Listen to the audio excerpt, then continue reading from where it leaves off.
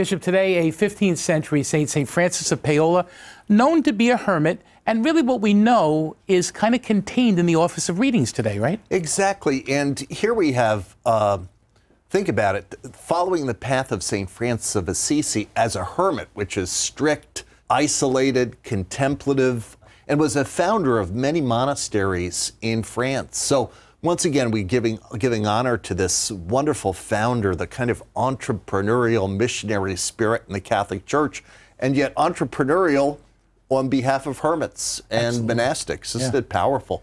But you know, Monsignor, one of our big themes in this series has been how the office of readings from the liturgy of the hours often illuminates the particular charism and gifts yeah. and mission of a saint. Here's the Office of Readings on a, uh, it's a letter from St. Francis of Paola, which is quite beautiful.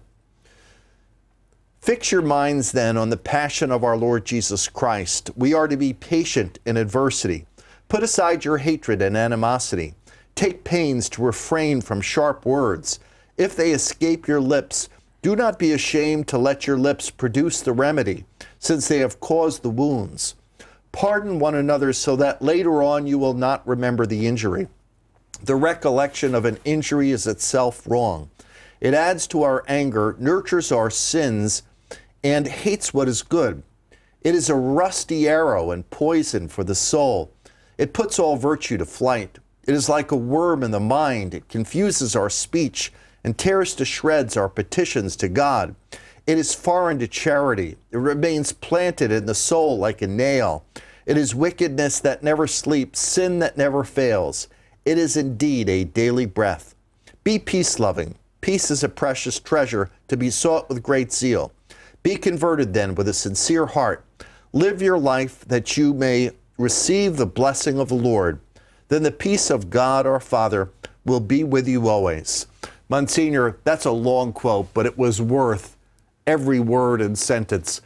What what 15th century 15th 16th century insight of St. Francis of Paola in terms of the nature of human hurt, the nature of human anger, what happens when you know God's call to forgive at the deepest levels is blocked and letting go and how important it is because if we don't let go, how can we receive the grace of forgiveness, right? And all resentment, mm. anger, lack of forgiveness, it's a poison arrow. What a great image St. Francis of Paola uses. And you can see this is 15th, 16th, 16th century spiritual wisdom that is completely relevant to us today. Could be today, absolutely. St. Francis of Paola, pray, pray for, for us. us.